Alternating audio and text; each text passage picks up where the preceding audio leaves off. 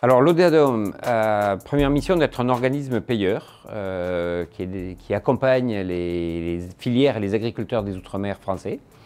Euh, à ce titre-là, il paye les aides communautaires et les aides nationales. Aides communautaires dans le cadre du programme POSEI, aides nationales complémentaires qui sont définies par les ministères de tutelle, ministère de l'Agriculture et ministère des Outre-mer. Mais l'ODEADOM a également une fonction de concertation euh, avec les représentants des Outre-mer, euh, concertation qui se fait dans le cadre d'un conseil d'administration qui est un conseil d'administration large, dans lequel sont présents les collectivités territoriales des Outre-mer, des représentants des filières, des représentants de chambres d'agriculture, des ministères de tutelle, des euh, préfectures des Outre-mer.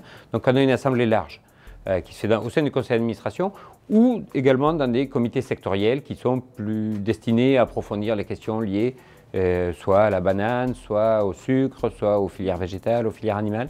Donc on a une disposition qui nous permet d'être un lieu de concertation assez central pour l'ensemble des Outre-mer français.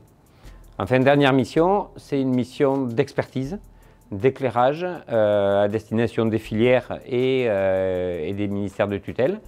Euh, alors l'ODEADOM anime un observatoire de l'économie agricole des Outre-mer et réalise un certain nombre d'études qui sont demandées par nos partenaires et qui sont mises à disposition du public et largement diffusées.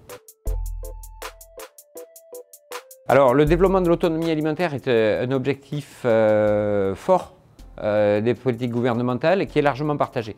dans chaque territoire, il y a cette volonté d'arriver à améliorer cette, balance, cette, balance, alimentaire, sachant que tous les Outre-mer sont actuellement déficitaires, hormis quelques grandes filières qui sont des filières dites d'exportation, que sont la, banane et le sucre.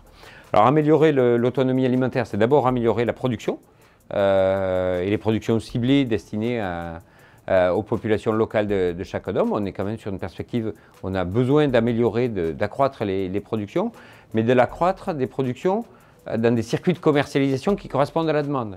Et c'est en ce sens-là qu'on euh, a un vrai volet sur l'organisation économique et nécessité, à travers les appuis économiques que l'on donne, d'avoir également un appui à l'organisation économique, aux interprofessions, aux organisations de producteurs, pour qu'on ait une effectivité de cet accroissement de l'autonomie alimentaire des territoires.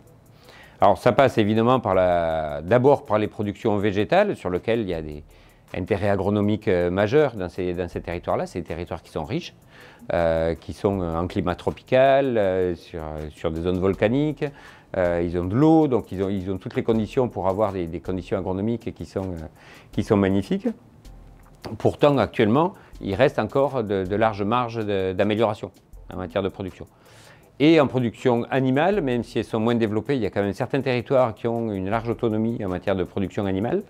Euh, ceci dit là-dessus, en matière de production animale, euh, on est quand même sur des territoires qui ont en commun de ne pas produire ou quasiment pas produire de céréales et d'aliments concentrés. Donc on aura toujours une limite assez forte de ce côté-là. Euh, néanmoins, il y a aussi des productions animales qui peuvent et qui doivent se développer. Les productions de volailles, les productions d'œufs, les productions de porcs se développent et peuvent encore se développer.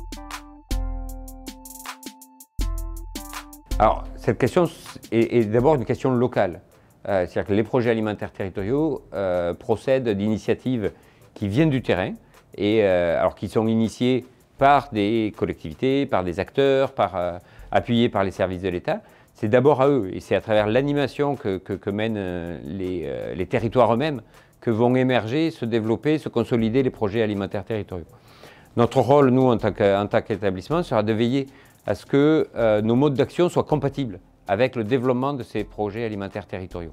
Et on y veillera. Ce sont des projets qui sont tous intéressants, qui sont directement dans la ligne de ce développement de l'autonomie alimentaire des territoires et, pour lequel on veillera à être peut-être pas un appui direct, parce que nous, on appuie plutôt des, organisations économiques qui sont directement destinées aux produits. Donc, on ne financera pas les démarches en tant que telles d'animation du, projet alimentaire territoriaux. Euh, il, y a des, financements pour ça, il y a des, modes d'action pour ça. Mais on veillera à ce que euh, les appuis que l'on mène, nous, aux filières, soient compatibles et permettent le développement de ces projets alimentaires territoriaux, parce qu'ils sont essentiels et, euh, et la dynamique actuelle est extrêmement intéressante.